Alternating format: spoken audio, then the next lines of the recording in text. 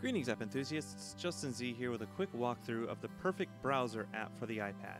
You can see more about this app at the website below.